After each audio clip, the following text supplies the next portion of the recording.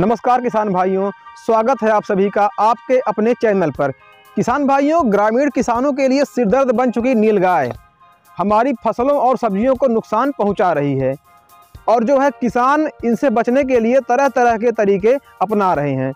लेकिन जो है, उसके बाद भी ये हमारी फ़सलों को आके नुकसान पहुँचा रही है और जो है ज़्यादा ठंड पड़ने के कारण इनसे रखवाली करने में किसान अपने आप को असहाय महसूस कर रहे हैं।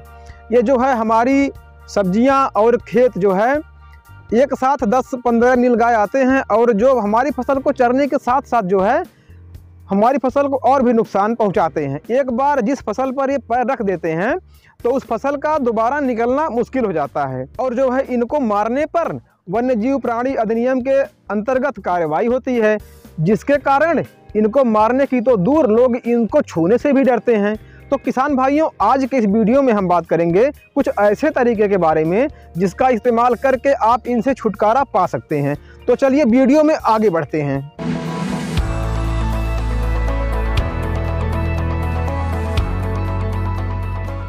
तो किसान भाइयों, इनसे छुटकारा पाने के लिए आपको तीन किलो नीम की खली और जो है तीन किलो ईट भट्ठे की राख, हमारे यहाँ इसको राबिस बोलते हैं। अब आपके यहाँ जो बोलते हैं, आप नीचे कमेंट करके हमें बता सकते हैं। इसका पाउडर बनाकर आपको एक बीघा के हिसाब से छिड़काव करना है। तो इससे जो है नीलगाय और जो जानवर हैं, जंगली जानवर, आपके फ़सल से दूर रहेंगे। और जो है, ईंट भट्ठे की राबिस और नीम की खली हमारे फ़सलों को और भी फ़ायदा करती है।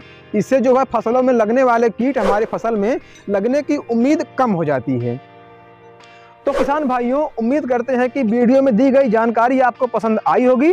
और अगर दी गई जानकारी आपको पसंद आई तो वीडियो को लाइक करने के साथ साथ चैनल को सब्सक्राइब भी कर लीजिए। और जो है, इस वीडियो को और भी किसानों के पास शेयर करें, ताकि सबका फ़ायदा हो सके। तो मिलते हैं अगली वीडियो में, अगले विषय पर। तब तक के लिए नमस्कार।